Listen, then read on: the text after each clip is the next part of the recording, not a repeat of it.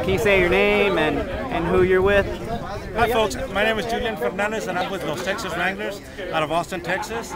Este, we're a, a Tejano Conjunto Country Western R&B band. what, what does today's announcement mean for you?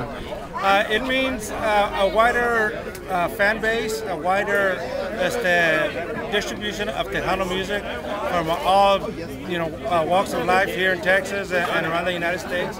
Este, it, it, hopefully it, will expose a lot of more musicians and upcoming musicians also, you know, and also uh, uh, give out the, the, the, music like Ruben Ramos, Alfonso Ramos, and the music that we, we always loved here in, in Austin, Texas What kind of impact do you think it'll have across the state and the nation?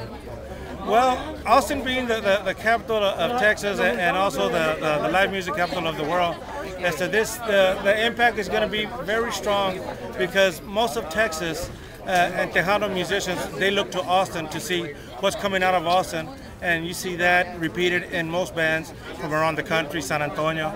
You know, they listen to Ruben Ramos, they listen to, you know, us, they listen to Johnny Degollado. Johnny Degollado's, his music has been played by the hometown boys, by by uh, uh, bandas in Mexico. Mm-hmm. Este, so he's an international este, songwriter. So Austin is a big influence in the Tejano music.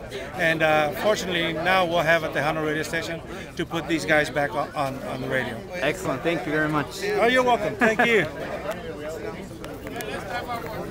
Still learning how to use